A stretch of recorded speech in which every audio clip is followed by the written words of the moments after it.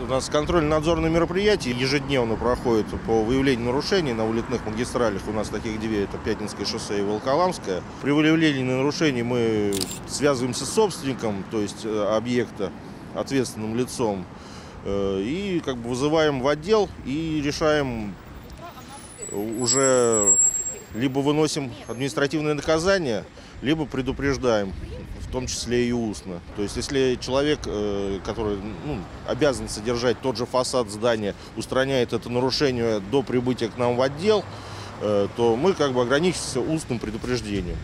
Если он э, каким-то образом не может устранить или так далее, в отношении него возбуждается административное дело, даем предписание, где устанавливаем сроки, ну, исходя из разумного, да, там, допустим, если какая-то небольшая надпись, которую можно за день устранить, то, естественно, там месяц никто ему не даст на это устранение. Если там будут грубые нарушения, там, и вплоть до замены фасада, естественно, даем более большие сроки.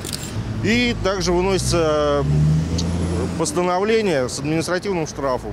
То есть и административный штраф тут же, опять же, зависит от э, принятых мер э, нарушителем устраняет, выносится минимальную.